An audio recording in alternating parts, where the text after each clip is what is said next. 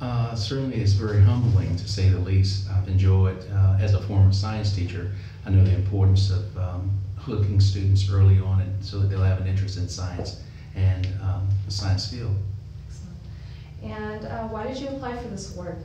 Well, uh, at the uh, request of one of our teachers, saying that with the involvement and all that we've had, um, she felt it would be a great thing to do, and I kind of agreed with her.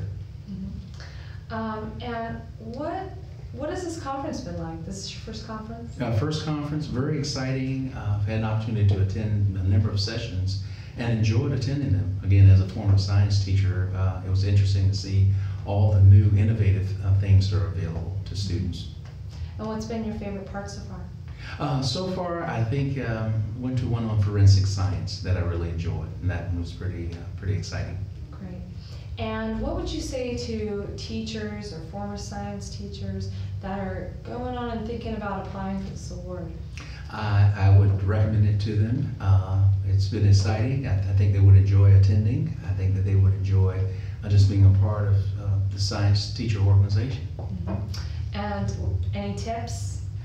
Um, I'd say plan ahead. you know, the, um, the more you plan, then the better it would be in terms of uh, because there are so many offerings that they have.